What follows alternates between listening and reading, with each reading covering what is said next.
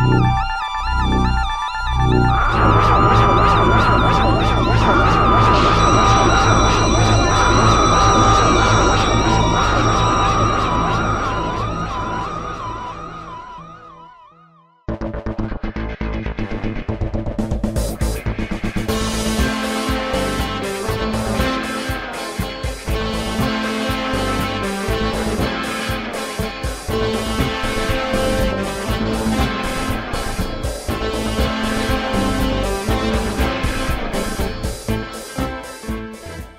Today's video we've got something a little bit different. We're going to take a look at the Apocalypse generator model number APOC01.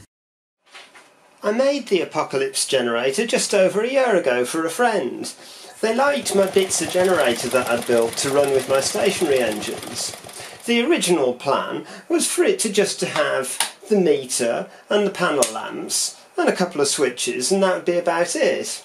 But then it seemed a shame for it not to have a few more features. So it gained an Arduino with an MP3 player module.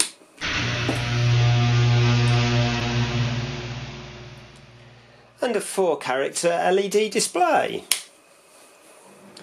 A vintage 10 way switch for selecting different display and sound options.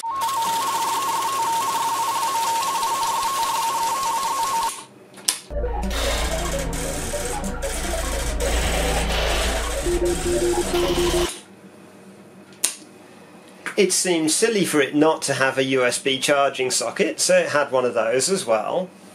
And then we thought it would be nice if it had a countdown timer function. So with the 10 way selector and this switch here, in position 1 you have a 1 minute timer.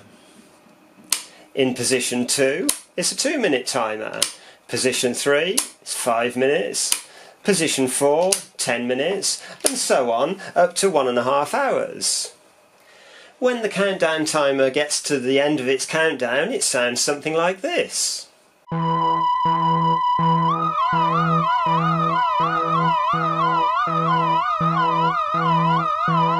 And that carries on until you turn it off again. The 10-way selector switch has a series of resistors on the back and nothing will happen when you turn it until you switch one of the other switches off and back on again and then, then it'll sample where the switch is on the resistor matrix and run the appropriate program and that goes for the sound as well.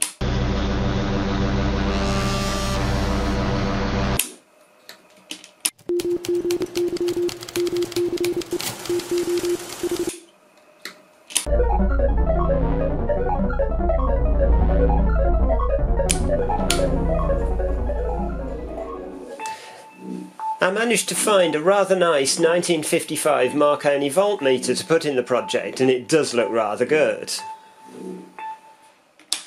For the panel lights I used the same method that I used on my Bitzer generator. These are compression joint stop end fixings and uh, they've got a section ground out at the bottom for the light to come out of and then they've got a LED G4 bulb stuffed inside and it works really well.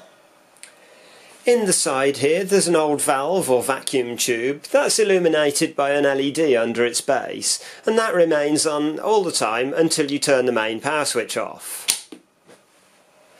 There's a speaker in each side, they were taken from an old iPod dock that had failed.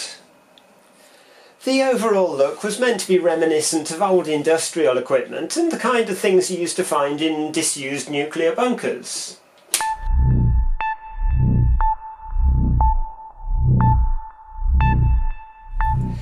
Inside the back of the machine it's a little bit of a rat's nest of wires, but it's functional.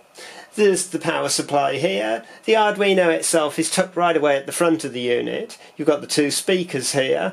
There's a bit of copper pipe with an LED in it here that illuminates the vacuum tube or valve at the side. You've got a matrix of resistors to get the voltage to read correctly on the voltmeter. The display is at the front here and there's a connector block that all the switches terminate into. The sequence you'll have seen at the beginning was the apocalypse mode. If I press this switch here, it'll do a one minute countdown and then all hell will break loose. There are sirens and general sounds of destruction, followed by industrial sounds of generators and electrical arcs. Then you get vintage communication systems and teletype machines. And finally ending up with dripping water and sonar sounds.